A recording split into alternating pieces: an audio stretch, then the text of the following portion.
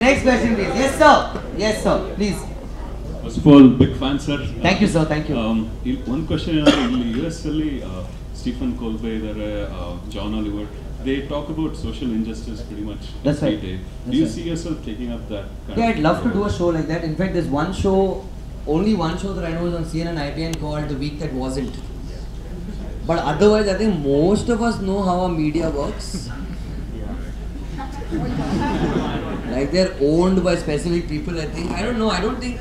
See the problem. No, we have. See when Padmavati happened, there was Karni Sena. Luckily, when ours happened, there was no Raj Karni Sena. uh, having said that, would we like to do a show like that? Certainly yes. And if you actually see through Facebook Live or uh, YouTube or whatever, I have always done social commentary without targeting a particular person because I think I have a following. The least I can do is try and make a difference in my own way. Be it about talking about politics in the current state or be it talking about mental health. Because I went through depression myself about six years ago.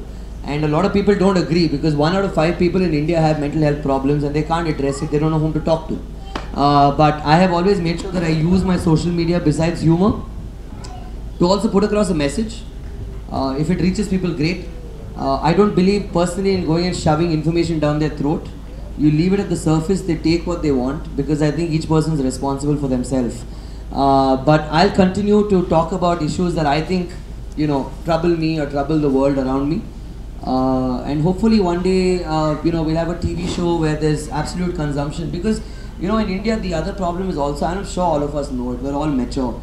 Uh, uh, you know, there is such a massive divide in all the languages, you know, so you can't really have one, you don't know what to do. So the idea is to obviously try and create something that's universal, uh, I think every creator in the country is trying to do that, uh, and and hopefully we'll be successful at it one day.